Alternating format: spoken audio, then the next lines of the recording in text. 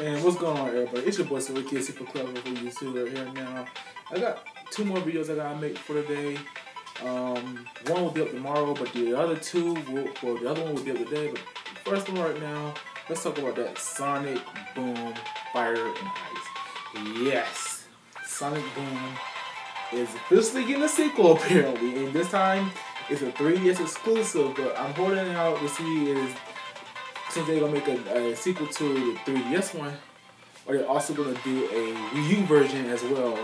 Just holding out for um, E3. So, what basically everybody's mad about is they're making a sequel to Sonic Boom, and it's called Fire and Ice. When you hear it, you thinking that hey, look, Fire and Ice.